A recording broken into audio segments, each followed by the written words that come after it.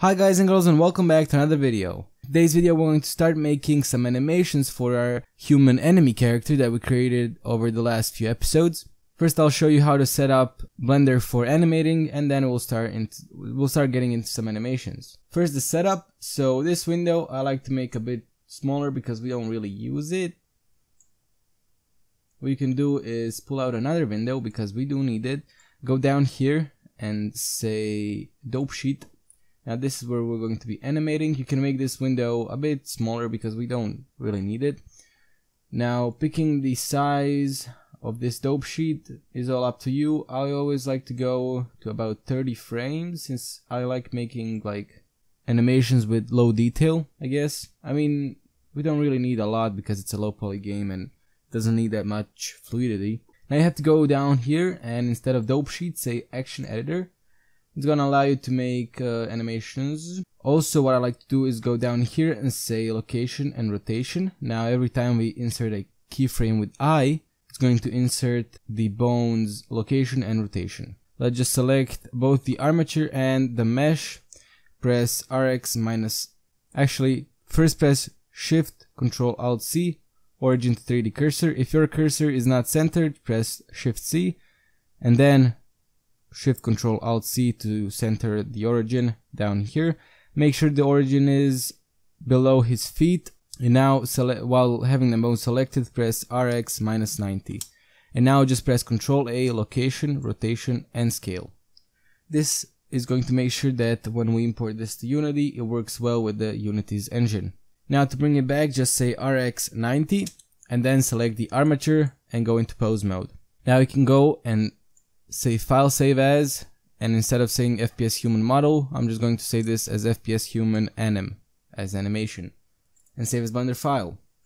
Now for our enemies, I was thinking of them being zombies because for if you're making a game for the first time, those are real pretty much the most simple enemies you can make all they really need to do is run at you with one animation, which is probably the idle one, and then they just need to bite you or scratch you or whatever they do. But let's get started with this. So what I'm going to do is I'm going to take these two arms. We're making a idle, animation first. And I'm going to take these arms and kind of pull them forward. So they kind of look like a zombie. Like that. And now this would kind of be the first frame of the idle animation. If you want the animation to loop, the first and the last frame have to be the same. Before we insert any keyframes also, we can go down here and press new and say zombie idle. Seems pretty fine. Press I while selecting all the bones, you can do with that with A. And also, whenever you're making an animation, make sure you go down here to the end and say the max frames you want to have. I'll go with 31. And now if I go to the 30, 31st frame and then again press I, so I can have the same um, pose as I have in the first frame. Now this animation will loop. For example, if I go to the 15th frame, and for example, if I move these arms a bit down, make it a bit more random maybe. Maybe rotate these a bit up.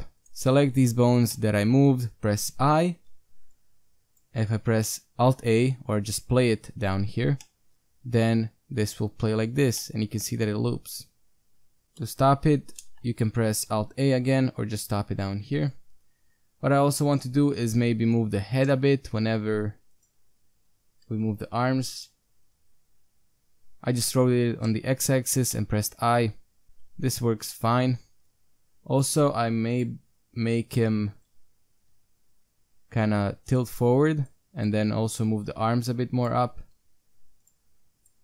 And now I will select the bones that I moved and press I. Now this looks like a good idle animation for a zombie, I think. Before moving on, uh, first make sure you save it. So just save as FPS human um, idle. Now I'll save it like that.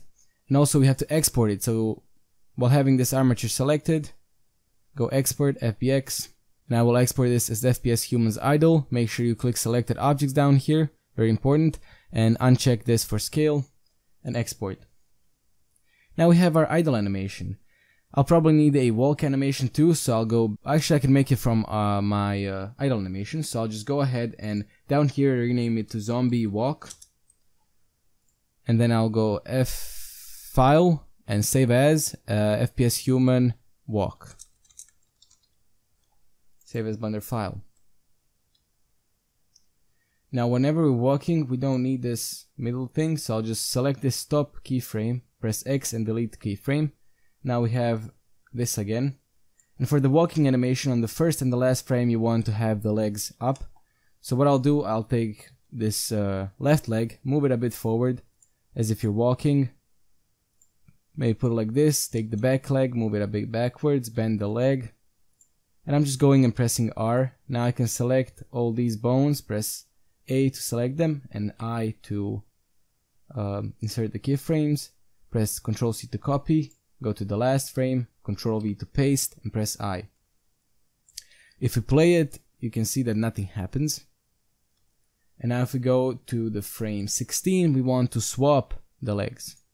So what I'll do, I'll take this uh, right leg and move it in the position of the left leg, take the left leg and move it backwards maybe bend them a bit more to make it a bit more random. In some places select these bones that I moved and press I. Now if we play it you can see that it kind of swaps the legs but this looks very bad. Then I want to go to the frame 8 in which the left leg should touch the floor. If you follow the leg you can see that right here it should touch the floor. And then I will take this left foot make sure you take the left foot and then I will kind of make it flat and maybe straighten out the leg a bit more.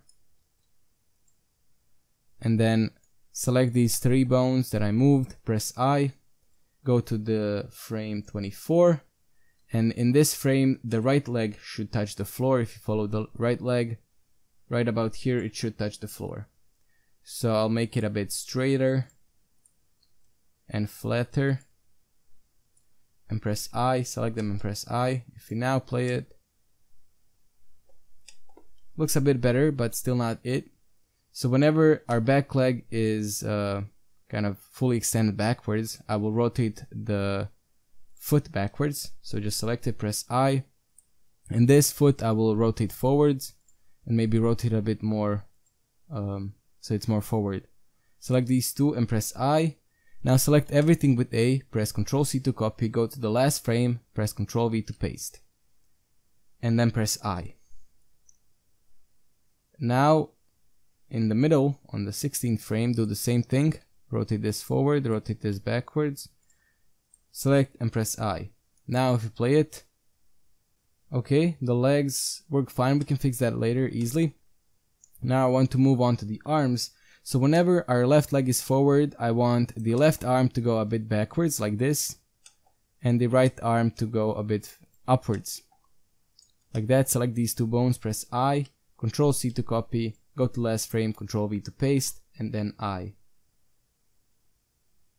Go to the middle, and in this case, um, I want the right arm to go a bit backwards and the left arm to go a bit upwards select these two bones, press I. Now if I play it, it looks like a bit more like a zombie. Also what I want to do is whenever we step on this leg, I want the zombie to kind of bend forward.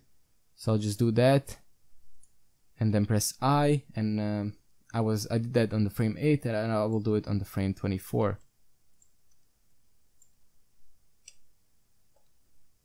Now, since we do not have a keyframe on the frame 16 for our back, it will just keep the back straight. If you go to frame 16, press Alt R while having this selected bone and press I. And now it looks kind of like it's uh, struggling to walk. Also, I want to move the head. So whenever we step on the floor, I will kind of straighten out the head like this do the same thing on frames 24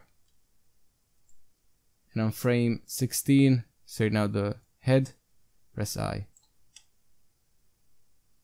That kind of looks like a zombie. Also from if we look from the front you can see that it's pretty straight right here.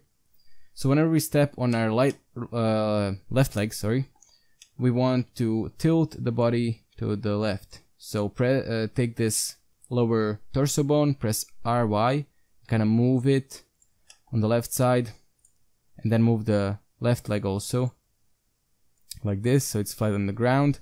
Also move the head a bit, so it's looking straight. And take these three bones and press I. So now every time we step on the left leg, you can see the character kind of tilt to the left. We want to do the same thing on the right leg. Take this bone, rotate to the right. This a leg, so it's flat on the ground, and the head. Take them, press I. Now if we move, you can see that it kind of looks like a zombie. I think that's pretty good for the walk animation. You can make it a bit more perfect if you want. I kind of feel like this is good and I don't want to take too much of your time. So I'll just press Ctrl C to save and go File, Export FBX, FPS Human and not Idle, but we want Walk. And make sure selected object is selected and this is deselected. Click Export. And that's pretty much it. I think these are the two animations that we need the most. We don't need jumping, we don't need crouching or anything else, so I think this is it for this video. Hopefully enjoyed, hopefully learned something. If I was a bit too fast, I'm really sorry. And just watch the video over again and hopefully you'll get it. And uh, you can go follow me on my social media or on my Patreon if you're that kind. There's links to that in the description. Hopefully I'll see you next time. Bye bye.